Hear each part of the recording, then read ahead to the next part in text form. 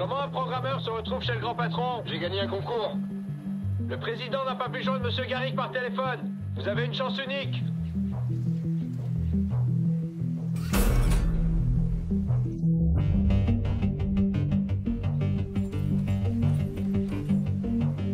Ravi de vous rencontrer, Nathan.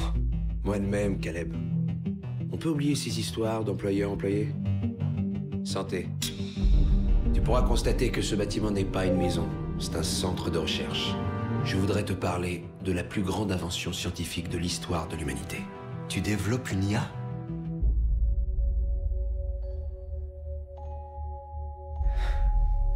Bonjour. Salut. Je n'avais jamais rencontré quelqu'un de nouveau. Et toi? Personne comme toi. Elle est incroyable. Le test, c'est de te la présenter en tant que robot et de voir si tu penses toujours qu'elle a une conscience.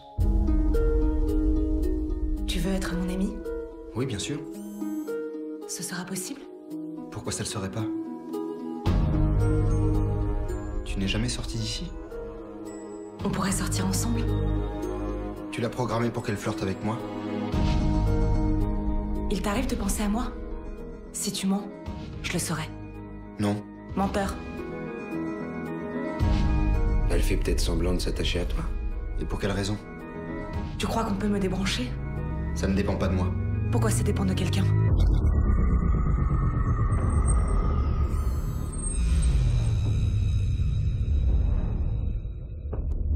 Tu devrais te méfier de Nathan.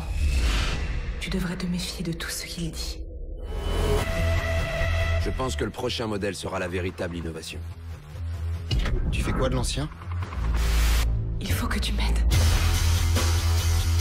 Un jour, les IA nous considéreront comme des singes se tenant debout, fin prêt pour l'extinction.